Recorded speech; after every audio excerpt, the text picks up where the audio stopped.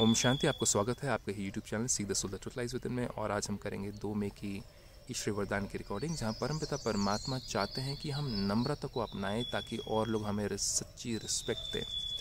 और सच्ची रिस्पेक्ट पाने के लिए सच्ची सेल्फ रिस्पेक्ट होने की भी बहुत ज़रूरत है। उसको भी हम एक्सप्लोर करेंगे यहाँ पर कि सच्ची सेल्फ रिस्पेक्ट क्या है। तो परमात्मा पिता कहते हैं कि निर्माणता की विशेषता, निर्माणता मतलब की ह्यूमिलिटी नम्रता, की विशेषता द्वारा सहज सफलता प्राप्त करने वाले सर्व के माननीय भव। तो आपको माननीय कोई अगर मुख से कह दे लेकिन अंदर से आपको रिस्पेक्ट ना करें तो आप सेल्फ रिस्पेक्ट में नहीं हैं। इसका मतलब आपके बीच में टकराव है। आप दोनों के बीच में टकराव है किसी प्रकार का। और जिस कारण से वो सिर्फ़ मुख से आपको रिस्पेक्ट कर रहे हैं, लेकिन ऊपर ऊपर रिस्पेक्ट का मतलब ये नहीं कि वो सच्ची रिस्पेक्ट है। हो सकता है कि आपके पोस्ट पोजीशन की वजह से, आपकी सैलरी की वजह से, आप किस पोस्ट पे हैं, आपने क्या क्वालिफिकेशंस किए, आप किसके साथ काम किए, इसलिए वो थोड़ा चुप हो जाए।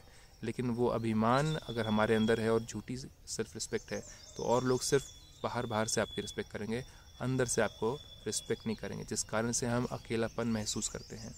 अकेलेपन का और कोई कारण नहीं है, यही कारण है। तो परमात्मा कहते हैं, सर्व द्वारा मान प्राप्त करने का सहज साधन है। क्या तरीका है? निर्माण बनना हम्बल बनना, सबकी सुनना, जी हजूर करना। कोई अगर गलत भी हो तो फिर भी उसको उसी समय टोक नहीं देना, उसी समय उसको राइट का रॉन्ग नहीं कर देना। तो परमात्मा कहते हैं कि हर आत्मा अलग है, हर एक के संस्कार अलग हैं, हर एक की सोच, हर एक के एक्सपीरियंसेस अलग हैं, आपको हर किसी को रिस्पेक्ट करना है। यही एक नम्रता की निशानी है। और अपने आप को सिर्फ़ मैं आगे रखूँ, मैं ही आगे आऊँ, मेरे को लोग प्रेस करें, मेरे को पहचाने, मैंने कितना किया है काम, मेरी वर्थ जाने, ऐसी आत्मा को बहुत मुश्किल होता है रिस्पेक्ट पाने के लिए। वो आत्मा बहुत ट्राई करती है। और वो जितना ट्राई करती है, जितना भारी रूप में ट्राई करती है, बहुत बोल करके, लोगों को इम्प्रेस करके, लोगों के साथ में बातचीत करके और बहुत बहुत थक जाती है वो आत्मा। क्योंकि उसको झूठी रिस्पेक्ट मिल रही होती है तो वो अंदर से खोखली होती है, वो और ट्राई करती है, और ट्राई करती है। वो लोगों को मांगती है कि मुझे रिस्पेक्ट करो, वो लोगों को लिखती है कि मैं मुझे रिस्पेक्ट करो, और वो अहंकार जो होता है, उसको महसूस नहीं होता कि ये एक अभिमान है, और वो थोड़ी देर के लिए किसी को वो चुप करा करके, किसी को सही करा करके थोड़ी देर के लिए उस आत्मा को शांति मिल सकती है, लेकिन बाद में उसको रियलाइज़ होगा कि फिर भी खोखलापन है, फिर भी अकेलापन है, फिर भी अंदर सेम्टीनेस है।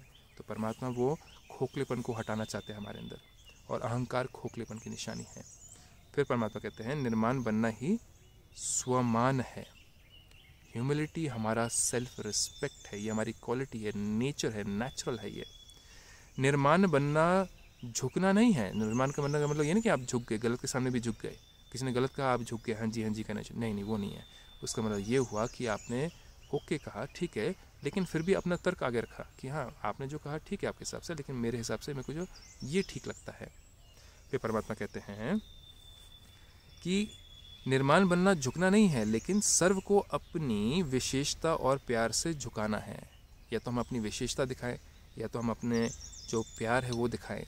और विशेषता को अगर हम अहंकार से दिखाएँगे तो कोई झुकेगा नहीं। हर कोई हमें और नीचा दिखाने की कोशिश करेगा। इसलिए हमें कभी अपनी विशेषता का वर्णन नहीं करना है। अपनी विशेषता के बारे में लोगों को बताना नहीं है कि मैंने क्या किया पास्ट में ये किया, मैंने पास्ट में वो किया। मेरी वर्थ वो जानते नहीं है, मेरे को समझते नहीं है, वो क्या समझते हैं अपने आप को?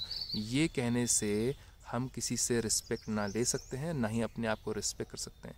क्योंकि अगर अंदर अंदर ईगो है तो आप अपने आप को ही प्यार नहीं कर पाओगे, आप अपने आप को ही पसंद नहीं कर पाओगे। जिसके अंदर मैला होता है, घर के अंदर मैला होता है, उस घर को हम पसंद नहीं करते हैं। तो आपके मन के अंदर अगर मैला है तो आपके आप अपने आप को पसंद कर पाओगे। सोचिएगा। फिर परमात्मा पिता कहते हैं, हम बच्चों को, कि वर्तमान समय में, वर्तमान समय के प्रमाण सदा और सहज सफलता प्राप्त करने का यही मूलाधार है। किसी भी चीज़ में, चाहे वो संबंध हो, चाहे किसी भी चीज़ में हो तो हर कर्म संबंध और संपर्क में निर्माण बनने वाले ही विजयी रत्न बनते हैं। संबंध कर्म और संपर्क में हमें ह्यूमिलिटी यूज़ करनी है। कैसे करनी है? इसलिए आपको ब्रह्म कुमारी इसमें आकर के इसका बहुत ही गहरा अध्ययन करना बहुत ज़रूरी है। इसके साथ ओम शांति।